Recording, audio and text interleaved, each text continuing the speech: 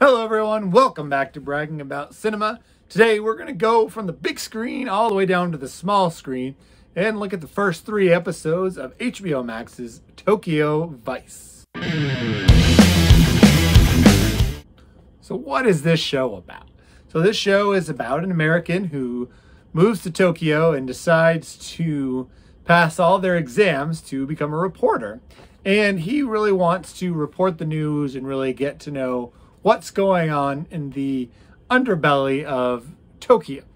Uh, so it's kind of a fish out of water tale. He's the American uh, trying to get used to the land, and he speaks fluent Japanese. Um, they don't cut him any slack. He gets put on the cop beat. He, of course, gets to run some not fun stories.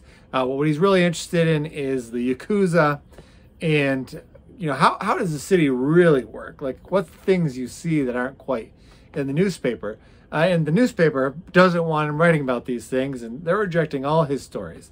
Uh, so he is kind of down on his luck a bit, needing needing to um, get that big story, and he finally gets that big break. It kind of opens the door for him. Now, along the way, he meets another American who is uh, works at a bar, and it's not a escort service, but she uh, encourages people to get to buy alcohol, and that's kind of their main function. And of course, at this bar, we have the Yakuza visiting frequently.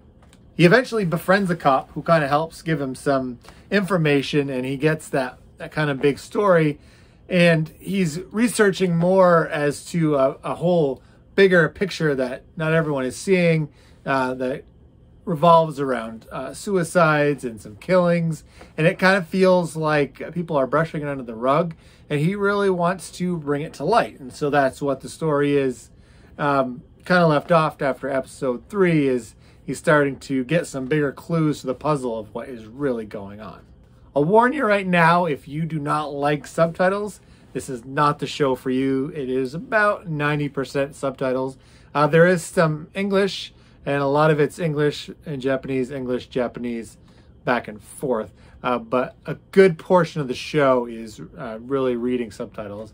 That shouldn't bother you because you're missing out on a great content if it does, but I thought I'd warn you. So the story is loosely based on a true story about American reporter uh, Jake Adelstein. Uh, so far, I've really enjoyed it. I like uh, the character. is uh, He's a likable guy. You really are rooting for him. Uh, you start to learn his motivation as to why he's uh, in Japan versus why he's not back home in America, and vice versa. The person he meets up with and befriends at the bar, she is in similar um, situation, although she is a bit of a mystery, so we're still learning about her.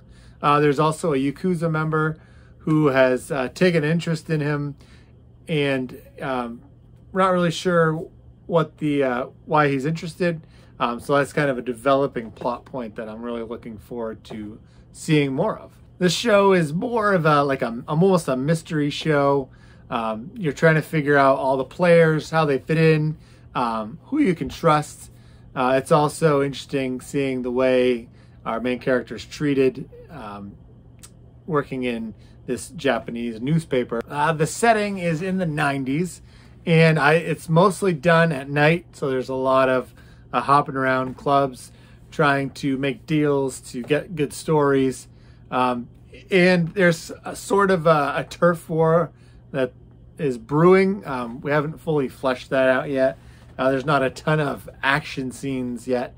If you're looking for this straight up action, it's more of a more of a mystery show. Um, I really can't think of anything bad about it other than if you don't like subtitles um, that's kind of your loss. Uh, other than that, this is a pretty enjoyable show. HBO Max so far is uh, everything they've done. I've really enjoyed that. I've taken the time to watch. I'm gonna go ahead. I'm gonna give this the gamut of approval. We're gonna give this an A. This is a show I'm definitely gonna watch to the end.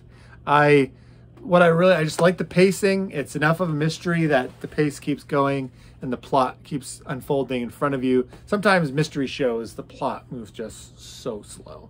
You're, I also really am enjoying the uh, fish out of water uh, American in a strange land trying to uh, navigate And he pretty fits in pretty well because he speaks the language fluently, so there's no uh, language barriers, and he seems to have acclimated pretty well. So there's not a lot of awkward moments where he doesn't understand traditions. So he, he's very well versed, very smart guy. Uh, I'm looking forward to seeing how this plays out.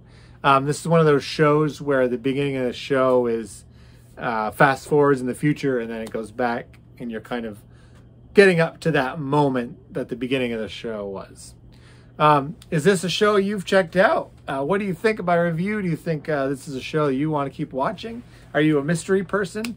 Um, I'd love to hear from you down in the comments section. If you could give me a subscribe so that you know when my next video comes out.